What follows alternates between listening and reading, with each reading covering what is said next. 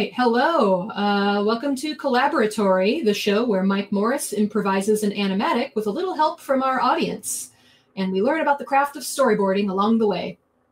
Uh, this is an improv art stream that runs on audience suggestions. Uh, Mike, what kind of prompts are we looking for from the audience? Hey, everybody, welcome back. Um, we are looking for three things. Uh, our standard three. We're looking for a couple of characters, a setting, and a conflict. The three main building blocks of any kind of real storytelling. Exactly. Uh, so feel free to jump in with any of your suggestions, and whatever you type might show up on screen. Absolutely. How you doing? I'm doing good. How are you, Mike? I'm doing okay. So for for those of you who may not know, this is Arielle Yett. She's a, a colleague of mine, a excellent storyboard artist and episodic director um, that uh, uh, we worked with, uh, or, or, we worked together some years ago. So Indeed. great to have you on the show. Yeah, thanks for inviting me. I, I hope uh, I am as knowledgeable as your other guests. I feel a bit intimidated, but I will do my best. And uh, and I know the no episode is about 2D and CG, you know, 3D uh, shows. I've worked yeah. on many, many a show at Disney TV uh, that are all CG. Elena of Avalor, uh, Chicken Squad, um, Alice's Wonderland Bakery currently. Um, so I'm very familiar with uh, working as a board artist and a director within shows where you know you're you're doing 2D boards, but you're having to work within a 3D pipeline. So. Right, and I know that you know Storyboard Pro has some 3D capability. There's a couple different kinds of, of, of 3D in, in Pro. Like, say I wanted to, like, you know, just build like a quick 3D set. Let me just add a couple of layers here. You know, I'll just I'll just use A through A through C, like or A through D. Say say I had like a, a thing like this, right? And then um, I wanted to just build like a really quick, you know, three wall three wall set. Right, I'll just do this, color that in like that. I'm gonna duplicate this like a couple times, duplicate, uh, duplicate, and duplicate. So now I have this. I can I can make this into a 3D scene here. Um, by just going to the storyboard enable 3D for current scene. And that's when the magic starts happening. And I can uh, take all of these and um, start to, to turn them around in space, right? So if I set um, the center pivot on selection, that'll, that'll get me right to the center there. I'm going to do that for all these layers. And then um, as a 3D scene, now I have access to this uh, 3D navigation bar. So if I go to my stage view, I was on I was on camera, so now I can turn things around in space. So this is a really great way to get some some of that like good parallax and stuff that you would get in a in a film. So I can take this and then I can start to to move these pieces around, and then if I just sort of uh, click off of that and click back on, now I have access to the proper numbers down here, and I can, you know, go 90 degrees. Whoop, that was 890 degrees. I want that. 90 degrees. Just 90 degrees. That's it. And then I can start moving these pieces around in space, right? Mm-hmm. Come back, come back here to my 3D navigation and start just building out some stuff. So using the um, the image I mean the uh, the transform tool. Whoops. I can start moving things around in space.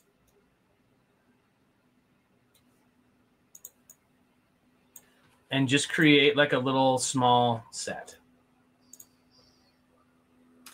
Oh, we have our first suggestion, Mike, uh, for a setting. Oh, uh, Andrea K. Hade suggested, how about a forest? And I hope I said your name right. I apologize if The forest. Okay.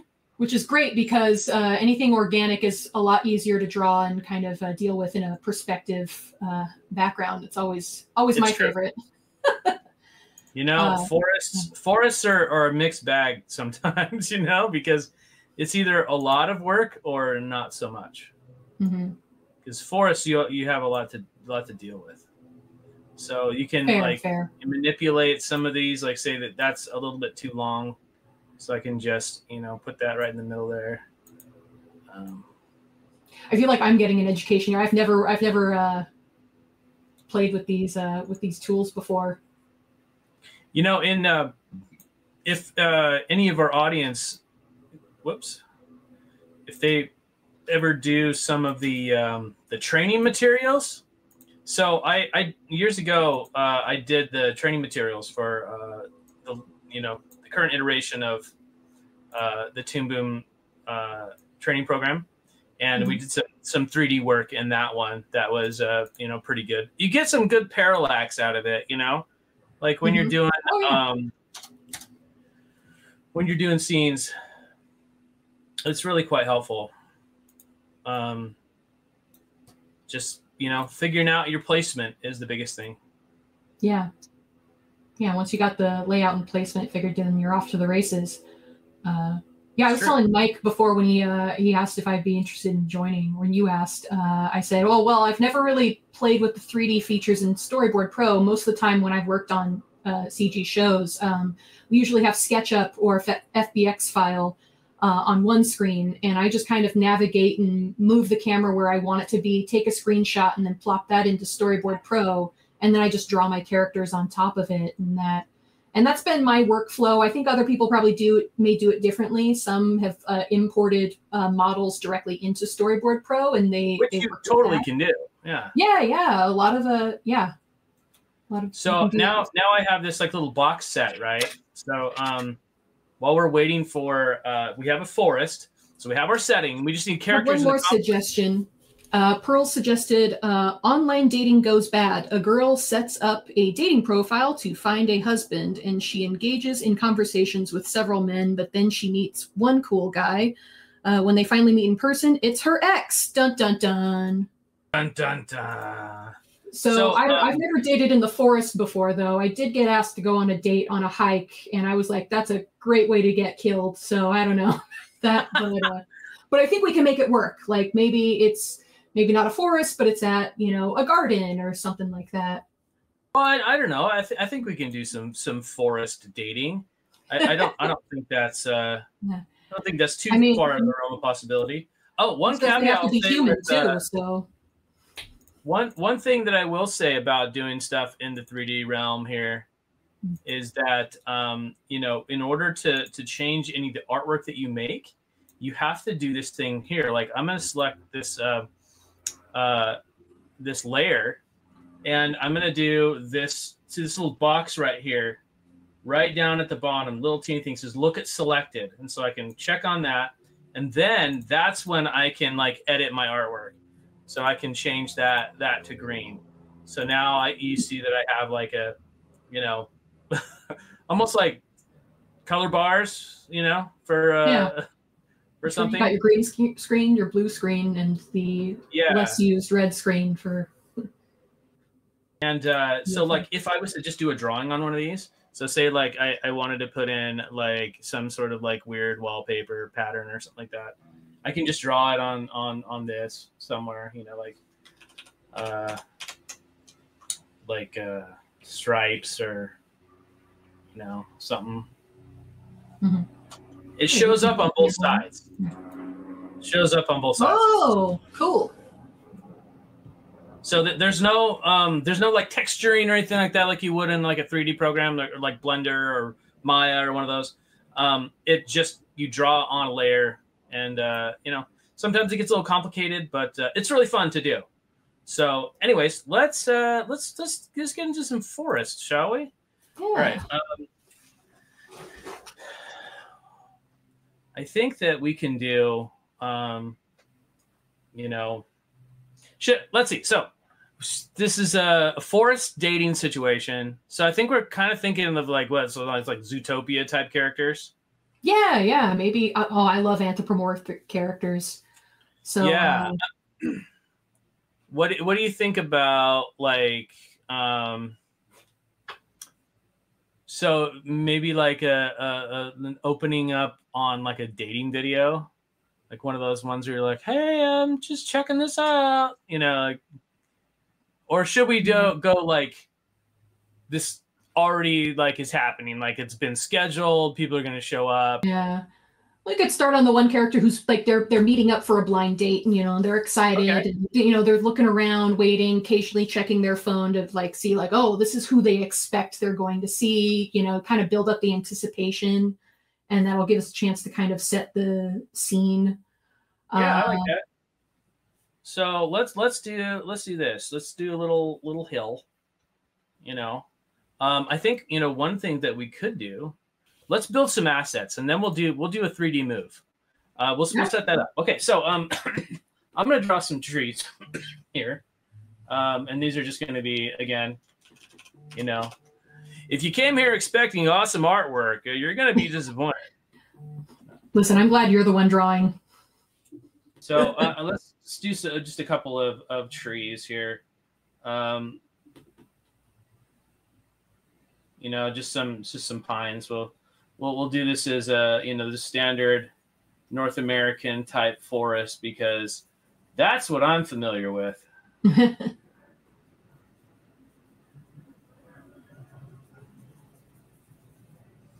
and then um, we can do this where um, we'll put in draw behind and um, the autofill.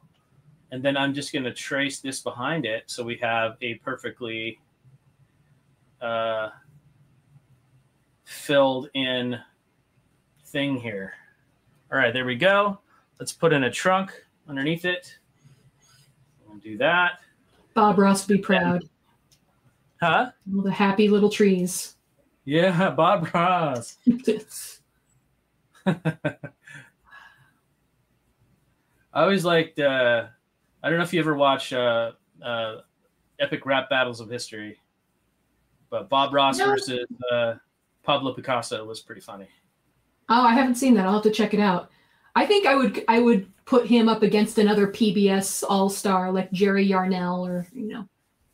Yeah. Those are those are sure. my uh, for for anybody that's younger than forty in the audience. That's the other PBS guy besides uh, Bob Ross who was uh, frequently watched. Okay, so we got one of our happy little trees. We'll add a couple little, you know, lines on there just for funsies. And then uh, in deference to time, I am going to just duplicate this a bunch of times. Oh, yeah. Duplicate. Uh, let's see here where to go. Duplicate and duplicate and then I'm going to do this too. This one, I'm going to actually let's go on the bottom layer. What I'm going to do on this one is I'm just going to hold down control and just move it to the side and it duplicates itself. So, and then I'm going to, um, you know, sort of mess around with the proportions here um, and just kind of stack some of these. Mm-hmm. Um, make them bigger, smaller, you know, like I can put one in the extreme foreground. Uh, yeah, always nice to have, have some depth in, uh, yeah, especially in establishing shots. Just really uh, feels more cinematic, brings you in. Absolutely, and then you know another thing that is you can do also to mask the fact that you're reusing a bunch of drawings uh, is uh, you know just tilt them a little bit. Just tilt oh, yeah, them, manipulate them you know, just uh, a, a little bit here and there. I mean, you're not like trying to deceive anyone per se, but you just want to make sure that the board feels has like it has a little variety. Like if this was a, a, board that I was doing like for a show or professionally, I'd probably you know have more trees, but um, yeah, yeah, same. I do like maybe a variety of like three, and then just copy paste, copy paste, and uh, yeah, exactly. Because the nice thing is, like, it's it's not like this is a finished, you know, uh, the usually the designers come in after the fact, after you've figured everything out, and they kind of put things on model or, or get inspired by your boards too. So um, yes. So yeah, but you also just don't want these perfectly uniform, very clearly copy and paste. It it just gets distracting. So Yeah. And so here we go. We've got this here. And um, I am going to um, turn this into a 3D scene. So boom, now it's a 3D scene. So now we can do our navigation again like that. You notice our camera is a little bit different too. You know, we've, we've got uh, got all of these trees, and I'm going to take these and I'm going to put them inside of a group. So we're going to um, group selected layers. So now we have this uh, group here, and I'm going to turn on the layer motion. And so we can start this this group of trees here and sort of multiplying them out as we as we move into um, this area. So um, moving these, I'm going to use the uh, this little tool here. This is the maintain size tool. Now notice when uh, when I you know select this tool, there's a little blue arrow, and I'm on the top layer notice that tree sort of like shrinks like this. But if I turn on my camera view, you can see the camera view right here on the on the side. Make it a little bit bigger. Um, it doesn't change. Like it doesn't change size at all. Everything just stays the same. But it's moving forward in space. It's just shrinking according to the camera. So I'm just going to move a couple of these, you know, away from one another. Um, move them forward a little bit. Move this one forward a little bit. And then this um, thumbnail layer, I'm gonna move it back a little bit. So now we have uh, a little bit of forest here. I'm gonna take this, I'm gonna look at selected, grab that, and I'm going to control and move that over and just gonna give it a little bit of something, something right there. Now, if we go to our camera view, we, we start out on these trees, and then we can get our camera out. And I'm just going to go back to stage view for that. Um, and what we can do is get a little bit of a top view happening. You can also go up, come up here and go to uh, top view. And that'll show you a, a little scene that looks like this, right? And all of these are our various layers. So moving the camera, I can just uh, use my camera tool and select that. Now I have this little gizmo right here. It's only showing uh, the two ways because, uh, you know, we're in top view, so we're not going to see the y-axis. Yeah. But um, I'm just going to move this over a little bit like that. You can see that the trees are kind of moving in the in the view there. We oh, get that right free on. parallax, right? So I'm going to start the camera just to here. I guess I could probably put in a couple more trees on this side if I wanted to, but I'm not going to worry about that right now. Um, Time is of then, the essence. Yes. Then we're going to drop We've a got an animal date to get to. yeah, we got some we got some real emotional meat to handle. Yeah. Um, okay, so I'm going to drop a keyframe in the front, keyframe in the back, and then I'm going to go like this and move the camera over a little bit um, in its final position. So we've got this kind of a thing. Right? We've got that happening. I'm just going to extend the time a little bit. Um, and, and it's during stuff like this where you get like a little bit of, uh, you know, ring, ring, ring, ring, ring. All right, where is this person? I don't know where in the heck they are, kind yeah. of thing. Um, now going back to my stage view, now I can take this and I've I've uh, I'm gonna push home, and I'm going to turn, uh, whoops, I already turned that running man on. Turn the little running man on, say that this has got some layer motion on it. Then I'm going to go to end, and then I'm going to move these trees like a so. So now what we have is this opening scene as the you know the trees oh, nice. become essentially a little, a little curtain yeah. Yeah. So, um, okay.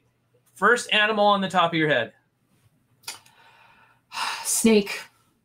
Snake. Ooh, a snake yeah. on a date. I've always thought that reptiles look more like humans than any other animal. So, you know, maybe she's, you know, well, okay, yeah, maybe using their tail as their hand, holding like their phone. Uh, it's a, uh, it's a lady okay. snake. You know, uh, I don't know how this is going to pan out with like how do we establish who her ex is? Maybe it's like a mongoose or something like that. Um, oh yeah, kind of thing. All think right. about it. We're gonna um, also wearing a nice little tube top or something like that. You know, tube top. That's funny. Yeah. All right, let's turn on um, our um, little tool here to draw behind and fill in. Do the autofill. Boom. Oh, I did that in the wrong layer. so that's not going to. See, I always like to have a, a light table uh, feature on my Storyboard Pro, so I know what layer I'm on. It, it just makes it a little more convenient, kind of. Uh, that does make it more yeah. convenient. You're right. I should probably do That's that. just me, so not telling you how to work. oh no, you're fine. You're absolutely fine. So let's put some rocks on here. Yeah know, so make it a bit of a rocky, you know, scrubby type of a situation. Um, let's do another little draw behind um, here, just so we can have a little bit of texture. Uh, whoops, I didn't, I didn't totally close off my shape. So you have to make sure that you close off the shape or it doesn't work. And you'd be like, why isn't it working? Yeah. You didn't close off the shape. There we go. And uh, I'm just going to change a little bit lighter on the color. And uh, yeah, now we're going to have our character in this next panel. I'm going to duplicate the panel, as I want to do on this show. Yeah. We love a duplication. All right, so then we have this. and uh, now what we're going to do is we're going to take, uh, we're going to go to the end here, and we're going to unclick this because we do not need uh, disabling animation we'll clear all the keyframes from the layer. It's exactly what we want because we don't want it moving anymore. So boom, we got this. And then now we're going to put in our character. And I, I, suppose we could put in some other BG elements, you know, some sort of like. Uh, I think this kind of is good enough for, it's, for it's a, a rough, you know? Yeah, it's it tells me everything I need to know. Now we can draw, um, let's see. Do you have a preference on like a brush? Like, do you, are you a fancy person and like to use, you know, kind of certain Am type of brush or yes? Um, depending on the situation.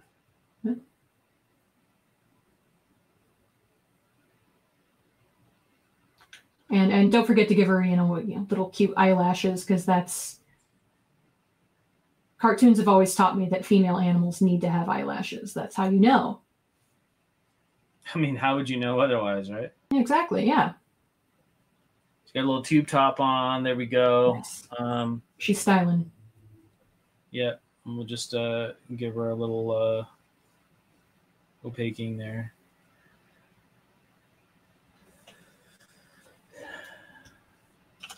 Actually, you know, she looks a little bit too dissatisfied. And if you notice, she's moving. She's kind of bummed out, yeah. because the, she is an, on the parallax. So what we're gonna do to fix that little problem is make sure that she is on the same plane as this rock. So we're just gonna move her back a little bit,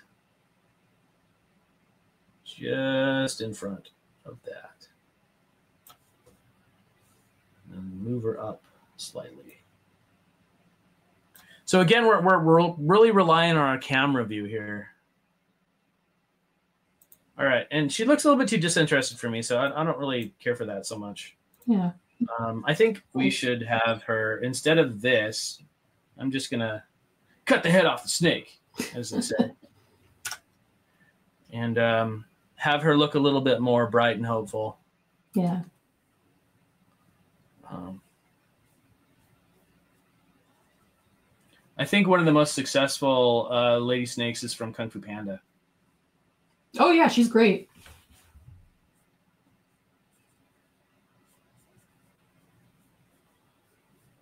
Great character design.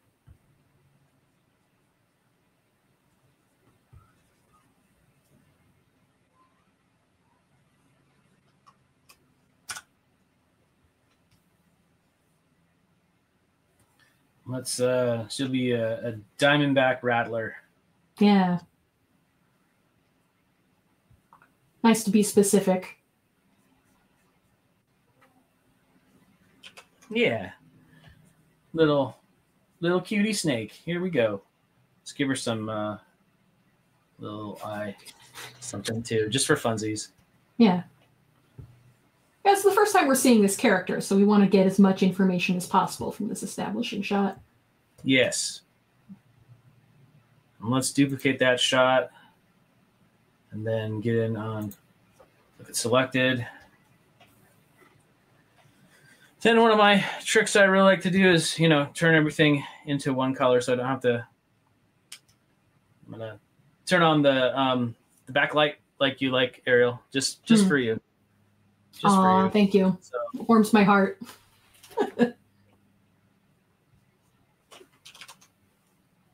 let's turn that down a little bit.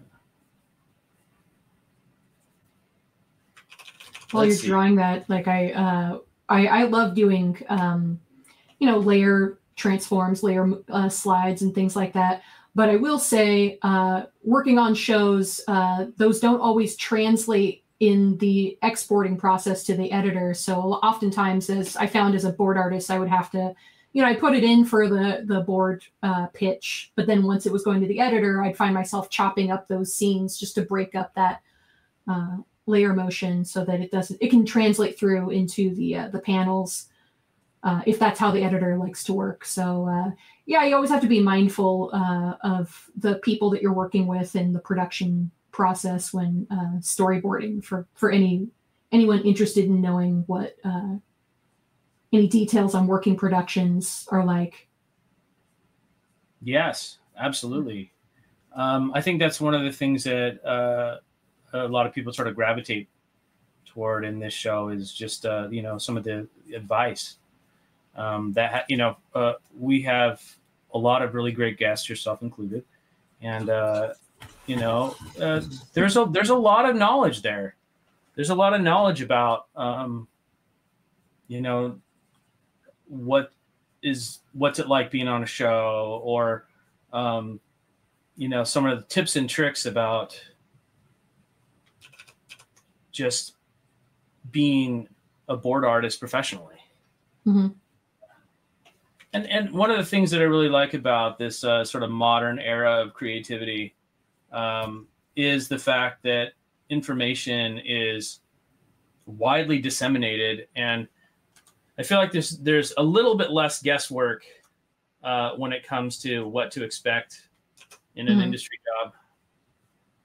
I mean, when you're fresh out of school, generally you get in there and you're like, I have no idea what I'm doing, but I'll learn. yeah And you kind uh, of learn a, a lot on the job once you get in there so that's what happened to me so oh, for sure. There's like Yeah. you know the way that you were taught in school, and then there's the way that each show operates.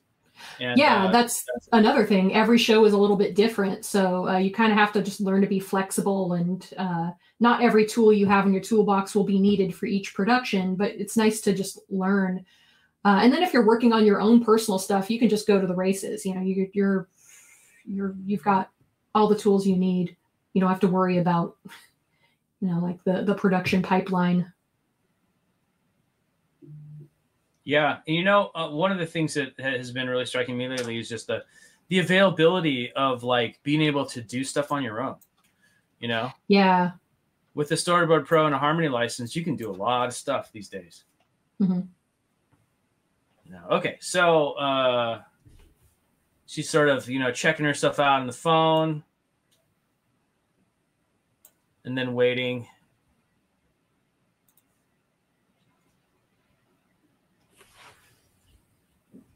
Sometimes we can get away with just moving around some assets.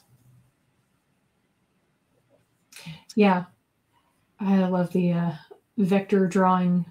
Just move a stroke if you need to.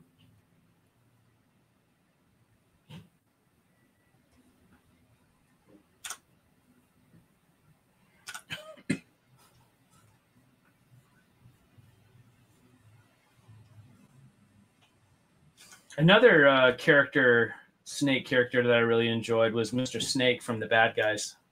Oh, he was great. I also Yeah, love he- Marc Maron, so I was happy to hear his voice coming out of Snake. I'm like, yeah, th- that's appropriate. when But when yeah. they're doing the um the Pulp Fiction thing in the beginning, that was pretty funny. Yeah. Yeah. Yeah, So another great. phone, looks around. Let's just duplicate that one. Um,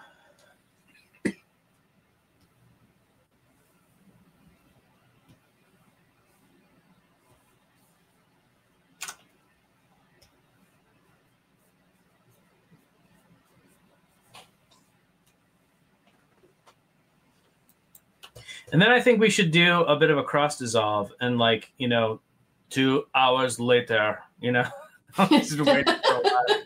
you know, like they do Well. Uh, what do we know she's waiting on? We know we have she has her phone out. Should we do an insert shot of like you know the screen on her phone, maybe a picture of this hunky uh I don't know Komodo dragon or, or whatever she thinks she's meeting.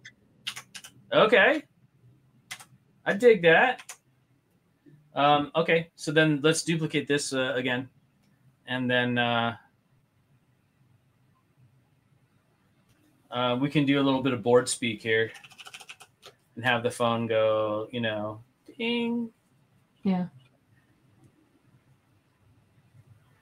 As she's uh, sitting there.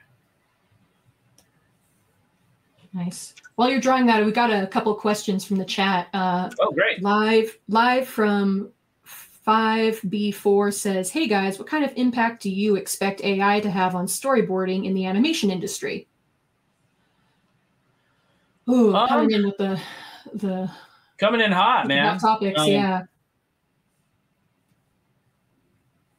well uh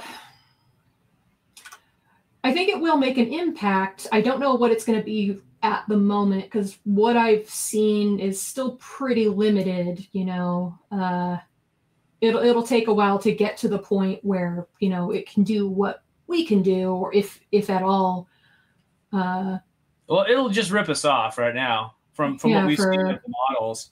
You know, once it gets its data set, that's that's the biggest thing. Is Yeah. uh, you know the data set and and all of the mining that they uh, are unscrupulously stealing from artists, but you know. So uh, I don't know. I think I think AI is definitely an issue for people, but there's you know something that I think everybody should really realize is that storytelling is so much about the human experience in a lot of ways, and Mhm. uh, you know you could get decent shots or whatever maybe out of an AI, but they're not going to be able to tell a story like you like a human artist can. They just can't yeah they don't understand the emotion behind it, right?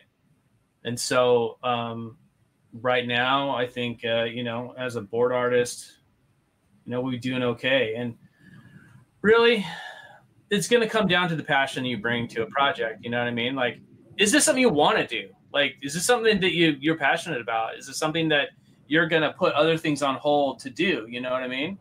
Because uh, there's a lot of avenues in life that people can go down and becoming a storyboard artist is one of those so but is is that the path you really want to trot down and you know if ai is there as a competitor it's there as a competitor you know in some way shape or form by some unscrupulous producer somewhere Yeah. so um Or it's- if you want to look at it from more of a bright side, you can also view it as a tool. You know, if uh, like Storyboard Pro is a tool for us, um, how can you utilize, you know, AI at least in its form currently to be a, a helpful tool to kind of eliminate some of like the more automated, like, oh, okay, I I just want an over the shoulder shot. Uh, just set that up for me, and then you can go in and do the more fun stuff of like, oh, the uh, the acting beats, all all the stuff that you, it, they're it's not really terribly good at, and uh, yeah, I think that's the best way you can kind of view it as a on a in not a self defeating way, in a like, okay, how can I utilize this as a tool? So well it- you know i did come across one that one ai that was really interesting to me was uh i don't know if you've seen uh cadmium ai no, I haven't. it actually is like a um like, like colors stuff for you Hmm. like it uh it's sort of like an automated uh animation coloring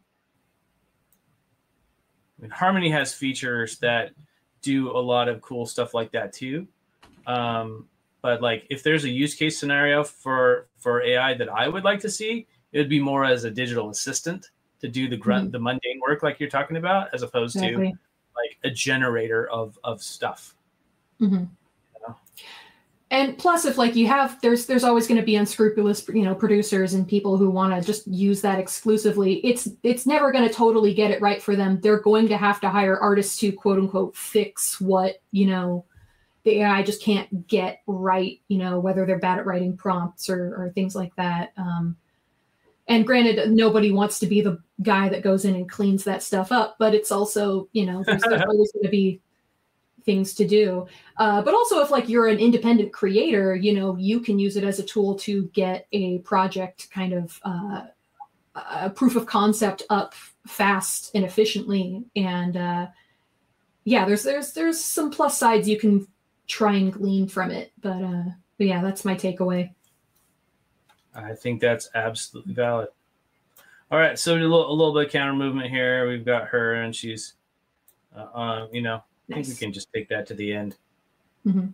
She's just kind of on her phone looking around. Ding. Oh, okay. I think maybe we should stop the camera move about right there. Yeah. Drop a keyframe in there and uh, delete this last camera. Nice. So ding. Oh, and it's uh um I think we can go in, in on the frame pretty pretty tight. Yeah.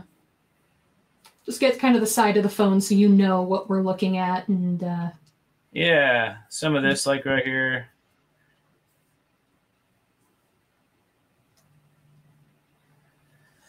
Maybe maybe a little bit a little bit wider.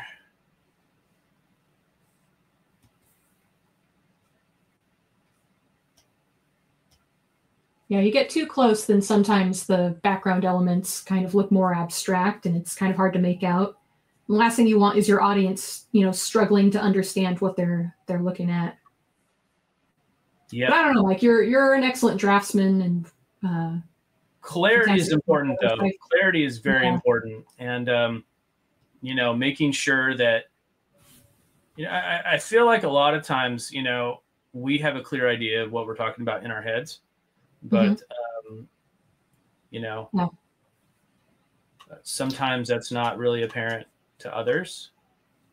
Oh yeah, oh yeah. Many a times, let's uh, as a board artist, it helps to you know number one always talk with your director and make sure like hey is this this is reading for me is this reading for you or just grabbing your fellow board artists um, just kind of showing it real quick. I would do that all the time on some of my old shows where, uh, you know, if I had a gag that I want to make sure is really hitting hitting the mark, and like, okay, I grab a coworker of mine, like, okay, watch this, play it for them, get the laugh I want, and like, cool, I got it. They everything read really clearly.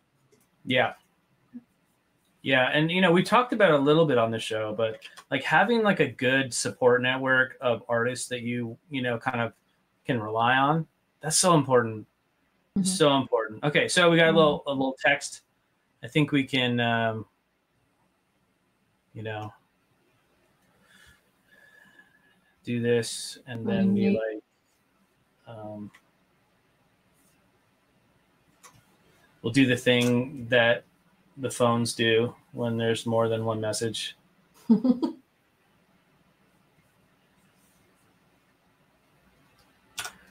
Running late.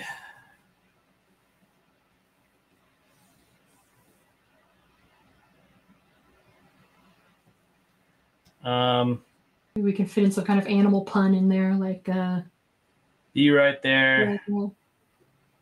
Uh, and then uh, I think what we can do is uh, duplicate that. I'll make that be right there. Heart, heart, heart. Um, just delete that and then reduplicate it.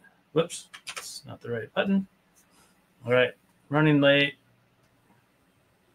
And then uh, let's put a little camera move in there and we'll pan down uh, with a, uh, a picture of the hunky. Uh, How to do the selfie arm, you know.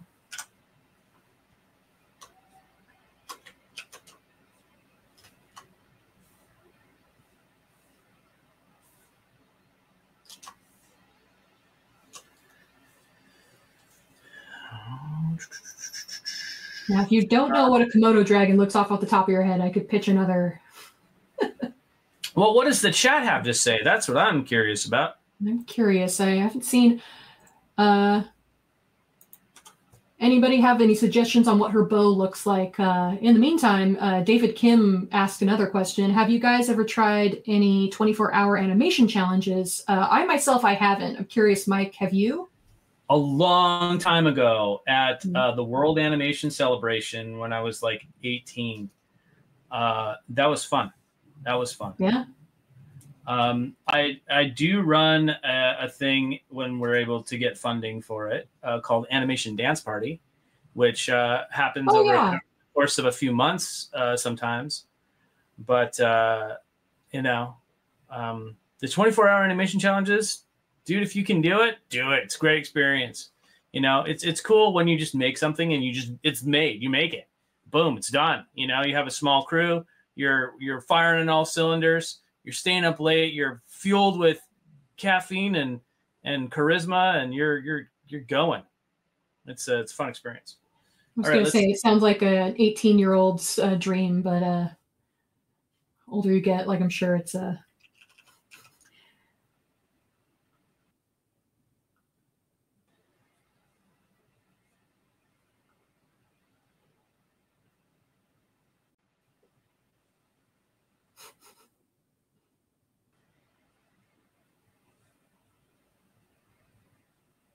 Oh, okay. Got to do the, he's pulling his shirt up over his abs, but it's just the scales that he's showing off.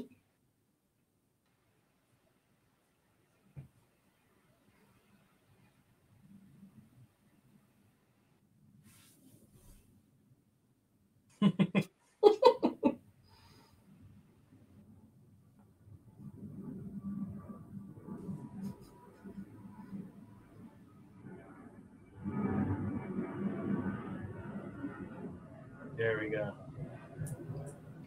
That's kind of fun. Nice. Boop. Let's do a little loading screen here too, just for funsies.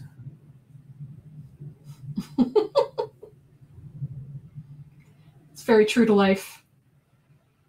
it's like, what she's in the woods, right? True, yeah. She wouldn't be getting some great reception.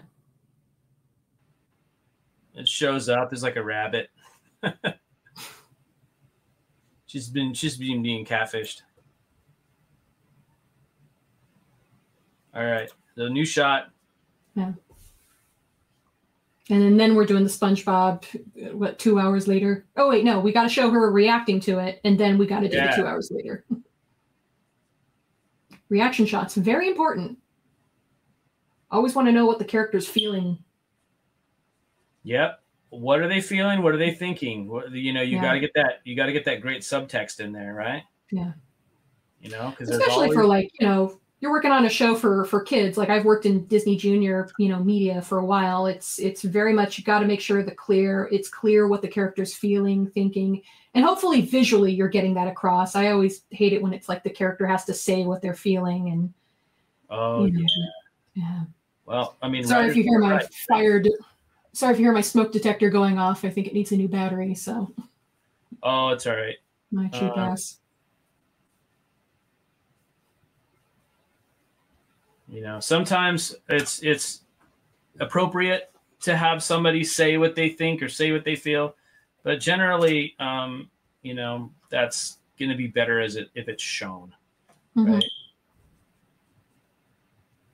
Yeah, it resonates a little bit easier, and I think kids are a lot smarter than you know some some people give them credit for. I think.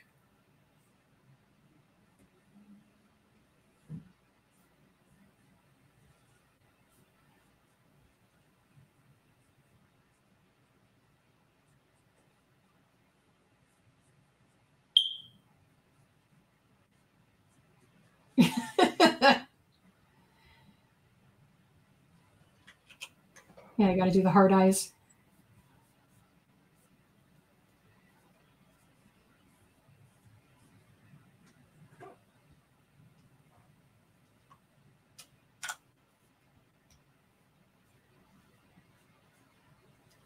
You know, we can uh, let's just duplicate that really quick, and we'll go back here, and we'll add a little squash drawing. Ooh, yeah. Squash and stretch. I love adding overshoots and stuff like that. It just makes the boards pop in the animatic. Yep. Hmm.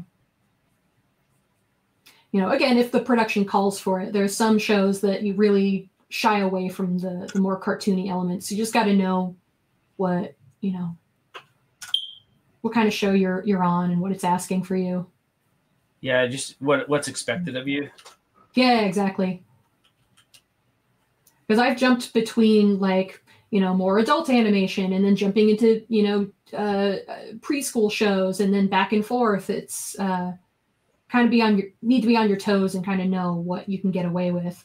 And even on my show, like there's some characters like on Alice's Wonderland Bakery, you know, we have human characters that are more, you know, you want to treat them more uh, human like. You don't want to get too cartoony because you can kind of disengage with them emotionally. But um, uh, I think we had one episode where we brought on uh, Tweedledee and Tweedledum, or at least our version of them, which was Tweedledoo and Tweedledont. And we were like, okay, let's get real cartoony with them. You know, we kind of looked off of um, the original animated uh, show and just kind of talked with the uh, the animation team because when you're working on a show that's CG, you have CG models that are rigged, and you want to make sure you're not going to break the rig. So we would communicate them yes. back with them back and forth. We're like, hey, can these characters do this? We would send samples of some of the boards we would do and go, can they do this? Can you make it so that they uh, they can get away and that they're really great at communicating. Our our animation studio, they're wonderful. They're uh, Icon Animation Studios in Canada, and they were wonderful. They they even would get excited seeing some of the boards, and they'd be like, "Yeah, we're going to try and make this work." So. Uh, sometimes it's a give and take. Sometimes there's just there's not enough time in uh, the schedule or the budget, but um, as long as you communicate and, and keep the board artist aware of what the studio can do and what the rig can do, uh, there's always going to be a good in between solution. Yes, I mean even even in a normal like harmony rig show, like mm-hmm. uh, you have to be aware of your the limitations of animation, right? Yeah. And you'll have to change your storyboards at times to accommodate that sort of thing. Um, and in, in your staging.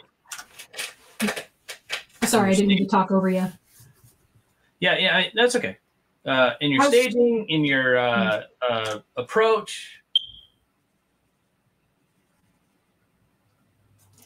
I was going to say sometimes limitations can lead to really interesting creative solutions. Uh, I remember working on a show where I was doing a song where we had to show uh, a candle being lit, but for whatever reason, I don't know if it was. I, it couldn't be the limitation of the animation. I, I think it was more of like a because it was a junior show. They were worried about showing you know, a, a, candle being, I don't know, like is instructions to children. It was a very stupid rule, but uh, I came up with a solution that was like, okay, I will show the candle being lit up without showing somebody having to light it. it would just kind of like, I think I started with one candle and then it rotated around. I think it was a, uh, it was a Hanukkah. It was a, a menorah. It was a, a special uh, Hanukkah song that I was doing. So I started like, you know, you're looking at it just the one candle, and then it rotates around, and then suddenly like all of the the candles are already lit. So I didn't have to show it. And I remember my uh, my uh, my supervising director was just really like, oh, that's a really cool solution. It was just born from having a limitation that I had to work around. So. Yeah. Yeah. So I think we can do like a little tongue flick here. like, yeah. Woo, she's getting excited. Something animal specific to show the excitement is great. Yeah, you know, and, and that speaks to character too. I think you need to yeah. really like be into the character that you're doing. Um, okay, so uh, then we'll do the, you know, the, the SpongeBob thing, I guess. What am I doing this for? You know what? Let me have a text tool for that we'll very just type reason. it out. Yeah. Two hours later. Right there. Yeah. If anybody has any other questions, feel free to hop it, uh, put it down in the chat. But uh, or any other suggestions to add on, like uh, like okay, what what should it end up being? I think Mike, you said a, a rabbit, which I think is a good so uh, good surprise. But if anybody has can think of something, like feel free. Because then my worry is like, why is a rabbit courting a snake? Like what? rabbit in a snake costume. well, I mean, what's uh, what what's a natural predator of, of snakes? I guess hawk, mm. a hawk in a rabbit outfit. Yeah. Well, I said, uh, like you want to go the Rikki Tikki Tavi mode, you know, get a mongoose or something like that, or two hours later. Let's see. I, I don't know. Uh, what what does our chat think? Tell me. Tell me. Mm-hmm. yeah, there we go. But we got to cut to the snake next, and she's okay. She's probably bummed out. Maybe. uh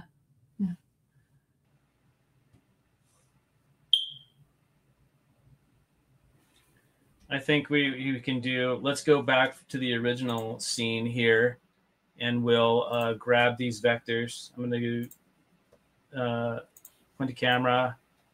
we're just going to grab these vectors and take it back to um, the 2D realm right here.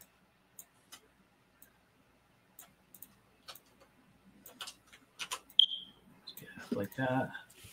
I don't want to add to your your workload here, but maybe if we needed like a a little table with some glasses of wine that she's gone through, I don't know. I think maybe she should just be like, you know, all sprawled out. yeah, tapping.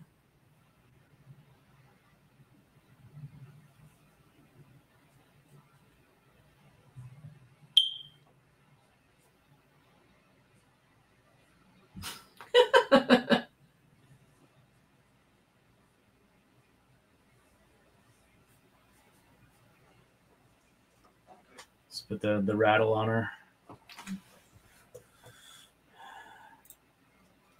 I like the tapping though. She's just yeah. like uh something get out my my cutter right here. Yeah.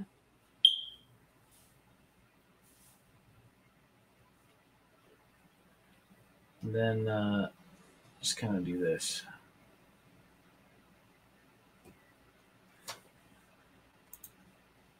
Ah, tapping the head. and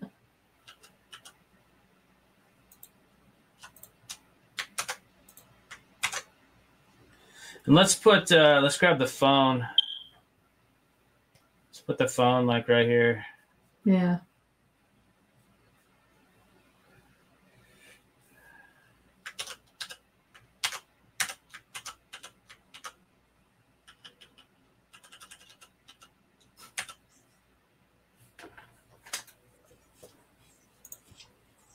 Mike, I was curious because uh, I know you're directing too, so I'm curious. Like, what's your favorite stage of you know the production process? Like, I mean, I think each stage has its own uh, particular charm to it. You know, mm-hmm. um, I, I'm I'm both a storyboard supervisor, episodic director, depending on the show, and mm-hmm. animation supervisor. So I've had a lot of different uh, roles.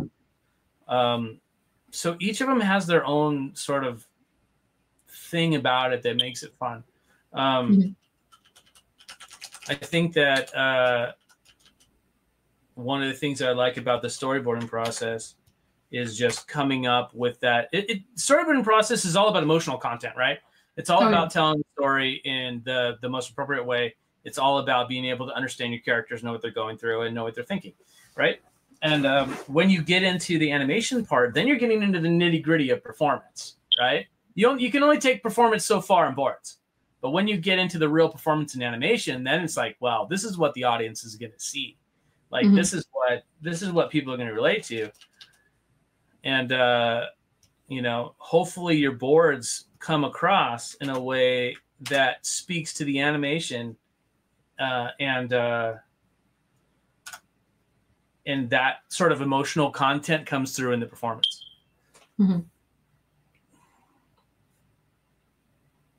Yeah, I agree. I definitely find charm in every step of the process. I will say there's a special place in my heart for, you know, storyboarding, uh, communicating with the board artists and kind of working with them to really, I, to me, that's where things really start to take life. You know, you've got a script, or if it's a show that's board driven, maybe just an outline or something, and that's and that's important. But um, but once like what you're doing right now, Mike, like I those are my favorite stages. Like you're bringing this character out, and you, once you start, you know, paneling through and seeing all the little things that you can add to it, just it's coming to life. It's it's just like my favorite aspect. And I, I, will say I also really enjoy the editing room, really getting to work with the editor and the revisionists and uh, and getting getting closer to what you think the final episode is going to you know be uh, before it goes to the animators. Um, and uh, yeah, and even like uh, even though I hate to like cut you know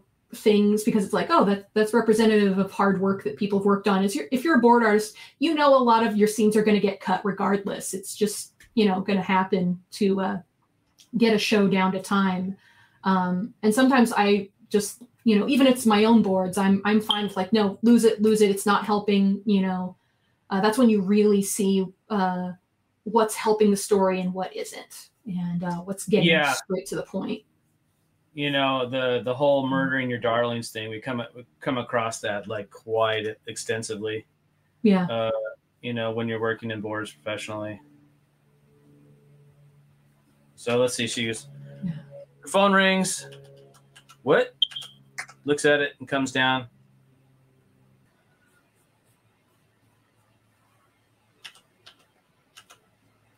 And then this one will be her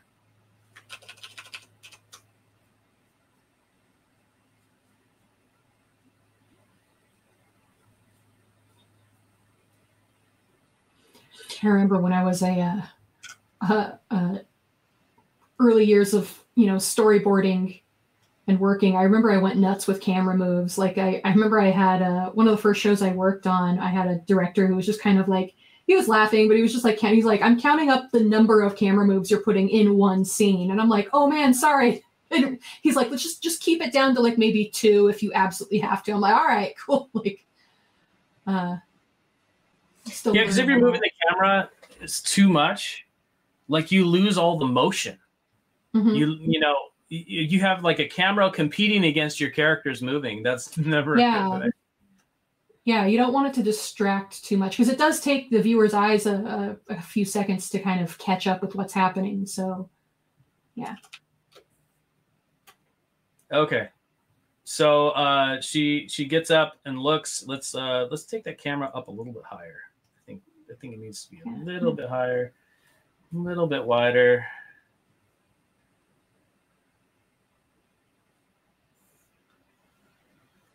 You know what? I, actually, what if, what if we do this? What if we have her instead of looking that way? Boom, boom. Get rid of all these extra lines that we don't need. kind of like a.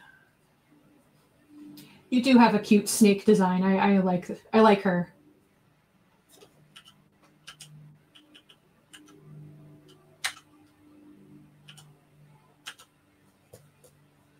Is she disappointed or confused? I think probably disappointed. Yeah. Because standing before her, let's uh let's put Let's do an, uh, an over the snake shoulder.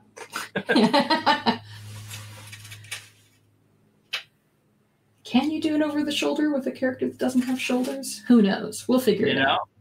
Uh, Maybe she has a over, kink in her.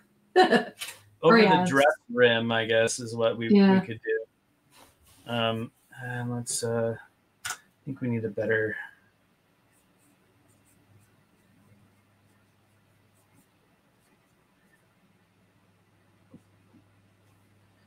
And there he is.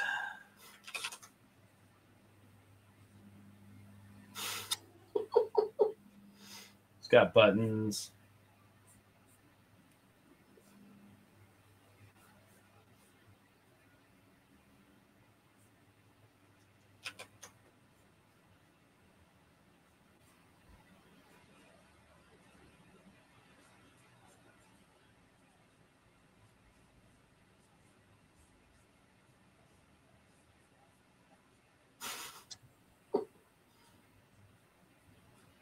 It's all chunky and Nice.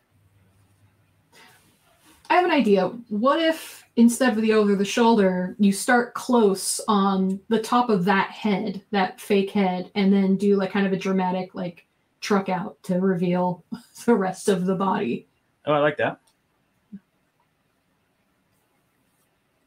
I like that. Um, boom.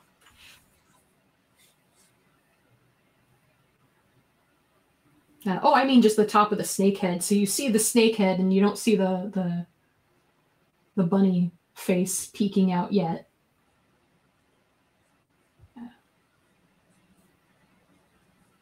Sorry, these are my executive notes. I hope I'm not bugging you. No, you're fine. you're absolutely fine. He's got eyebrows for some Yes. reason.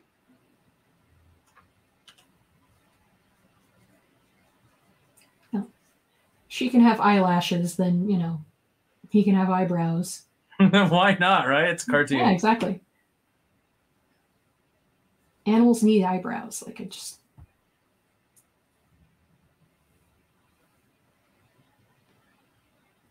Oh, you know, he should be too is like, hey, baby. yeah. maybe maybe he's got a little eyebrow wiggle underneath.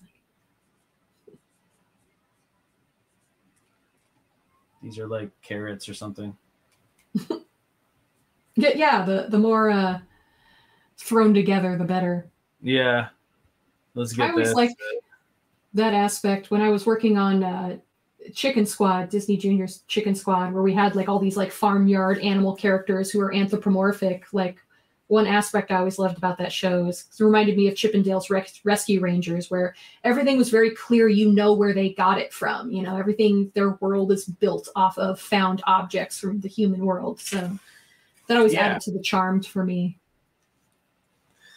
He's like, hey, So sup, girl?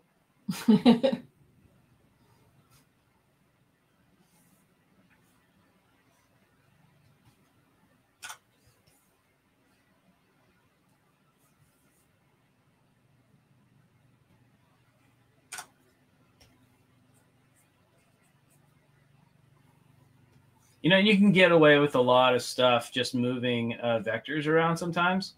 There's Mhm. not always the need to do every drawing new. You know, Oh yeah. Well, especially if you're working on a deadline, like yeah, I try to preserve as much of my drawing as possible because it just saves me so much time. you get a lot of mileage out of out Yeah. of the vectors. You know, Yeah. so And sometimes like you don't Oh, need to do like a major move. You just some of the subtler acting choices are the funniest.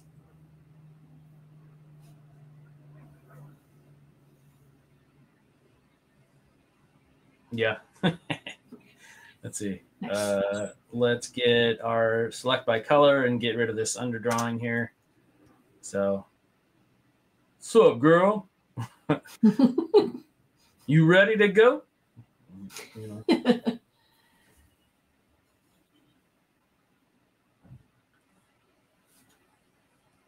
Should the cos- costume malfunction a little bit?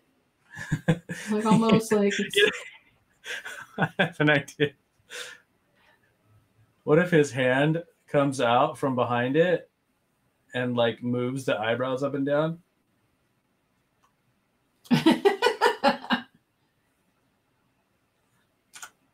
Like they're on some sort of a, a trigger, you know? yeah.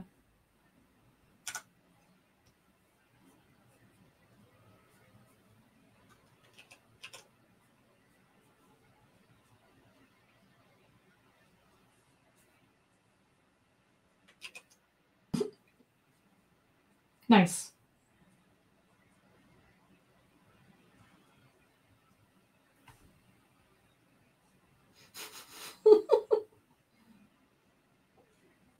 Okay, we need to do uh, this one where he's kind of like, you know, reaches back behind the head.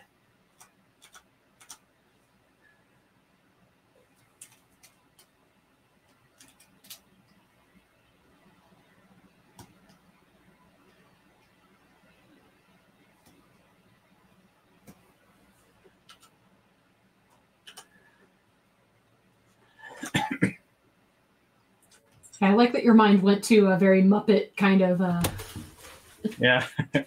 kind of area there. yeah. I love Muppets. I grew up in a Muppet household. Me too. It's like literally to the point like I remember being a kid, my dad would just shout from the living room like Muppets are on and like we just run to the living room. We we didn't care what what version it was. Like it's it's fine. Could be a commercial. It's Yeah, I had the um I had the the fortune, the good fortune to do um like a, a church talent show and we did a Muppet Show theme. And I got to, Mhm. you know, get my my Kermit puppet out and do the the whole intro kind of thing on stage. That was super fun. oh cool. And uh, my friend my friend Ryan was really uh enjoying being the MC against Kermit the Frog. Wait, did you do the voice too? And- Or was it just you were just Oh yeah, I was I was voicing from behind the stage. I had my pu- my Oh, my nice. puppet through like the curtain, right Mhm. in the middle of the curtain, and uh, it was it was really fun. It was really fun.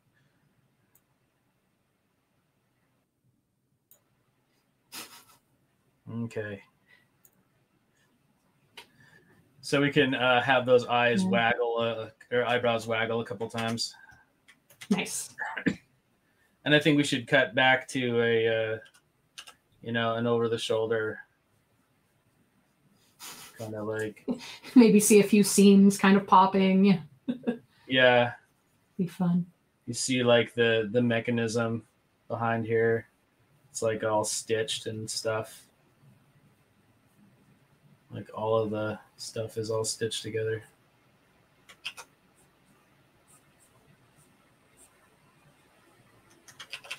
I want to get like a good shot of her just like what is this?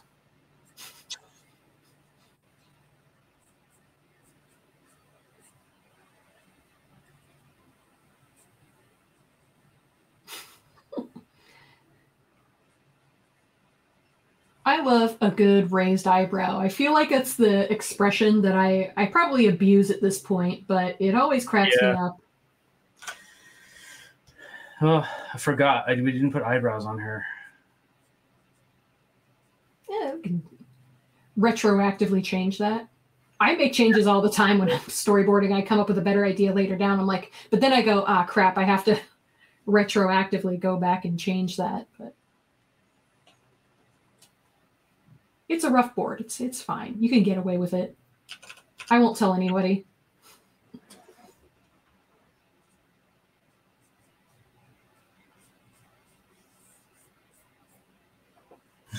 you are a rabbit.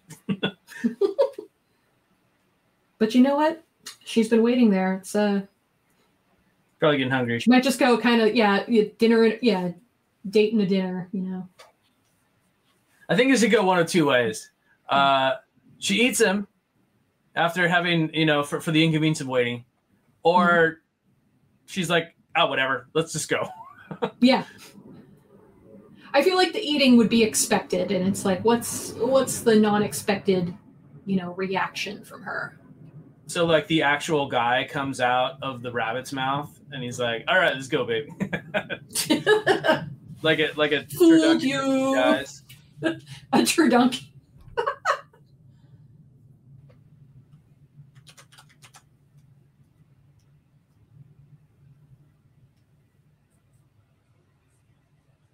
And it's a fun challenge because, like, you know, obviously, I'm sure most of these that you've done are just like there's really no dialogue or anything like that. So, how do you Well, we communicate this? make it up as we go along. Yeah. what is this?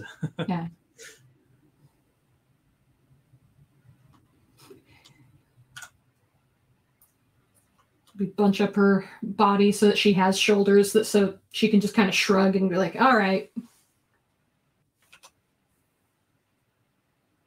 Oh oh or she zips down and reveals that she is also not a snake. No, she's also a rabbit.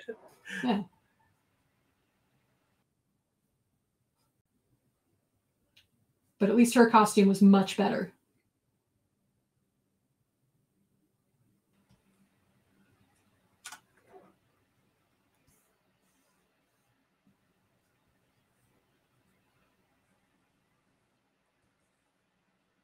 She's actually an owl that eats him. yeah, there you go. He's like, no, wrong predator. Ah. Flies off with him. I regret nothing. so, what does the chat think? What? How should we resolve this? Yeah, that's a good question. We're uh, running out of time here. Getting what? close to the end of this. If anybody has this? a thought.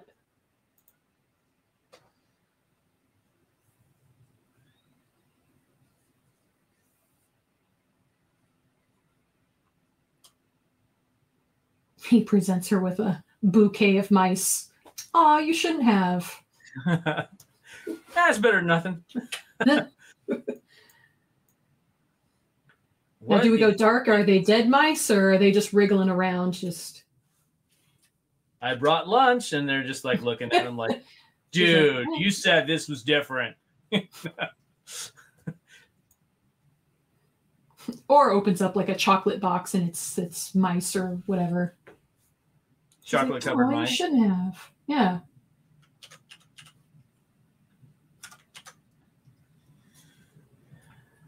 Uh, my favorite Monty Python sketch with the chocolate shop that sells crunchy frog chocolates. You've got bones in them. Well, yeah, where would the crunch be?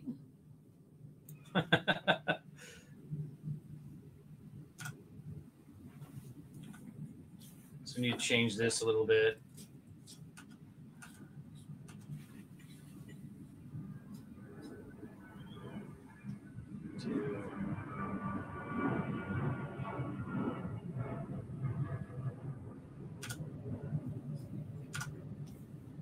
Oh, this reminds me too. So, uh, one aspect of working on a production that's uh, CG, but you're a board artist who's primarily working in uh, 2D, you can't really get away with cheats like this, like uh, these over the shoulder where you kind of see the profile of the character. You always have to remember, um, okay, my character is a CG model, and they are. You have to really think true 3D. So, um, you know, we couldn't get yeah. away like, which I love doing shots like this in in 2D. You just can't do that in CG. So, unfortunately, those bag of tricks you can't use, but um, well, I mean, you have like, to know. Yeah, yeah. You, always have to know the limitations of the animation process. Yeah. That's what. That's what. Like I think differentiates some board artists from others is that they mm-hmm. understand the underlying process that's going to be involved later on down the line. Um, and that's like an invaluable skill. Like if you know a little bit about everything, you're going to be a better board artist. Yeah. Uh, you don't I'm being told expert at everything, but just oh, knowing yeah. a little bit of the process. Mm-hmm yeah i see i feel like draftsman skills are most important over like you can learn all the tricks of you know storyboard pro but um you know if you don't have a strong set of like understanding perspective and, and character design and animation like uh yeah. You don't have to know it all just know enough to be able to uh to you know get by. Uh, you have to know I, enough to be able to operate. Yeah. Uh, i will say we have 10 minutes left so mike can you uh play us the animatic that we uh, we've con- you've construct we you've constructed. giving myself far too much credit there. yes, I, I, will do that once we once we finish the end of the story. Yeah, you right. can do it. I believe in you. This is another true to form story artist. You're always cutting things down to the wire.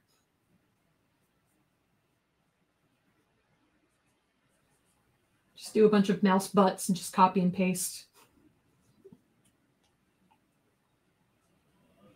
And then we'll just grab this right here and we'll go whoop like that to show the heart opening.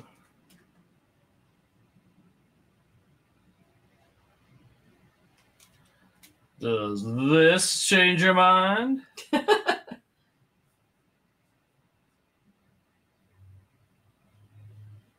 bunch of mice in there.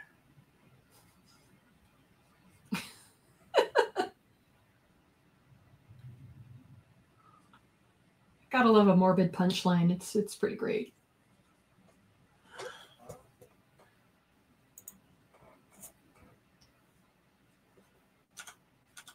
Yeah, perfect. She can react in the same shot, just like, ooh.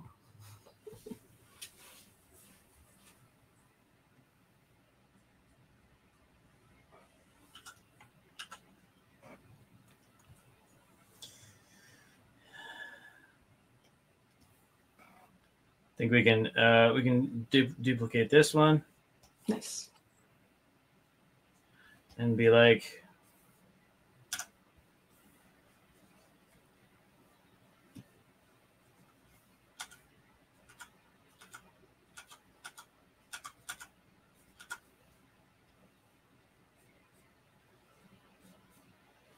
let's do the, the heart box.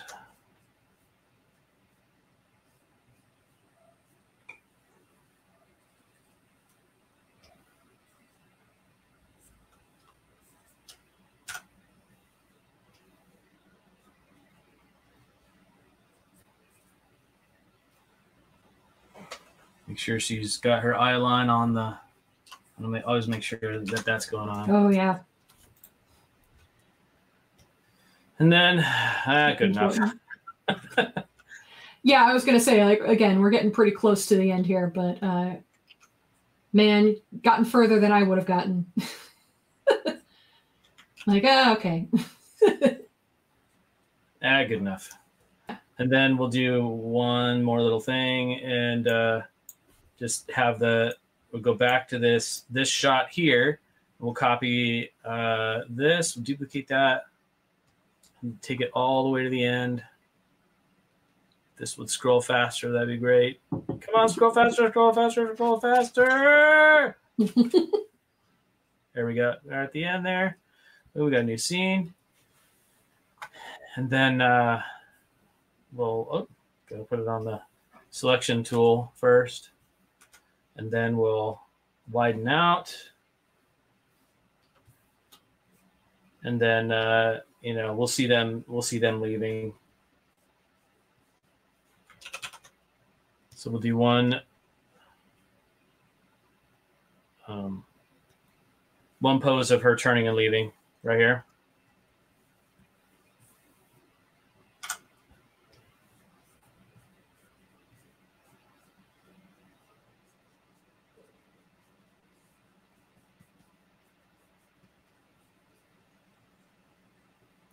And then cut to this.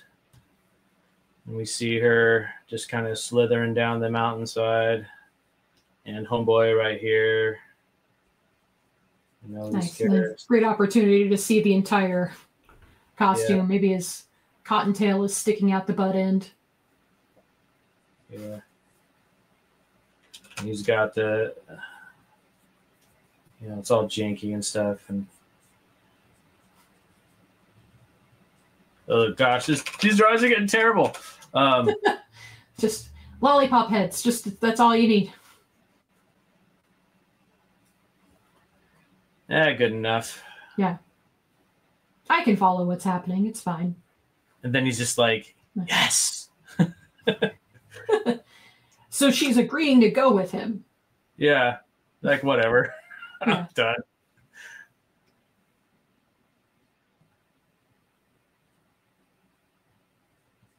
He's the snake outfit.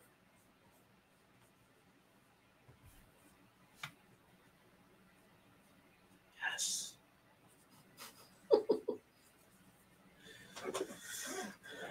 All right, and then uh, they slither-ish off together. If you had more time, you could probably have fun with posing out that awkward slither for the bunny in the costume. Oh, for for sure. Okay, Yeah. let's let's do the recap. All Yes. right, open opening up on a forest scene. We move through the trees, and waiting on a rock is a lovely uh, young female snake. She gets a text on her phone. Ding! She looks around, or she's looking on her phone, and then she gets a text. Ding! She looks. Oh, running late. Be right there. Heart, heart, heart. And then a picture of a very handsome uh, rattlesnake. Oh my gosh! You know, she's so excited. She's, uh, you know, just absolutely brimming with excitement. And then two hours later, and she's on a rock. Thunk, thunk. And then the phone, yeah, so we'll cycle this. Thunk, thunk, thunk. And then her phone rings. Huh? She looks down, goes, looks at it. Here, sorry. And that's when she looks up, excited, and then, uh, a little a little off put by what she sees next, which is this derpy looking outfit and like some sort of mammal inside of a snake outfit. And he uh, waggles the eyebrows of this costume.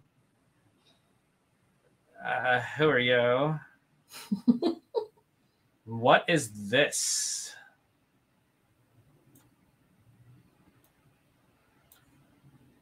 He's like, I brought treats. She's like, yeah, whatever, okay. then she's like, yes. And he goes,